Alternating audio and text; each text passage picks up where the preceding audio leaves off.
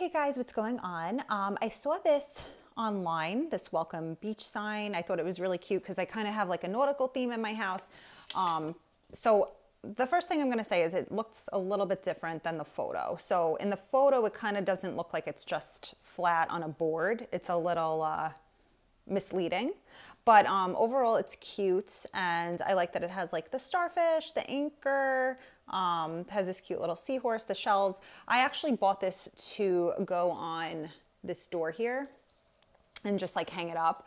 Um, the only thing is I thought that it would come with like, you know, it, it it's very light and it's like a little wooden board. It's very cute to um, like hang up on your door or something, but it has these two holes and unfortunately it does not come with a string or anything to hang it with. So you have to get something.